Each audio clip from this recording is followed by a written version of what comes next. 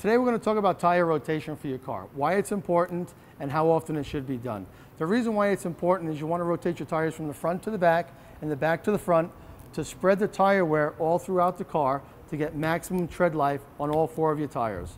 You typically want to rotate the tires every five to 6,000 miles or at every oil change, which is also regular maintenance.